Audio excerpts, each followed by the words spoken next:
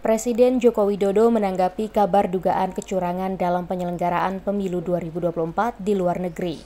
Ditemui usai menggunakan hak suaranya di TPS 10 Kelurahan Gambir, Jakarta, Rabu 14 Februari, Jokowi meminta kepada masyarakat untuk melaporkan ke Bawaslu jika ada indikasi kecurangan.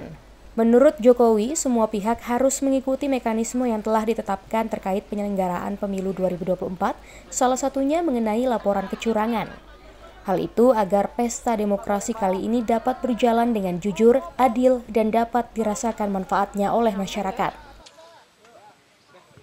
Ya, semuanya kan ada mekanismenya.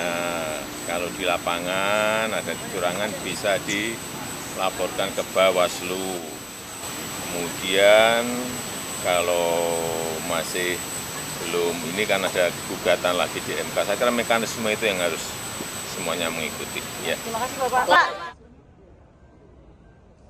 Dugaan kecurangan pemilu di luar negeri mencuat usai viral video WNI di London, Inggris yang tak bisa menggunakan hak suaranya. Tak hanya itu, video suasana pencoblosan di Malaysia juga viral karena membludaknya pemilih. Dari Jakarta, Yogi Rahman, Kantor Berita Antara, mewartakan.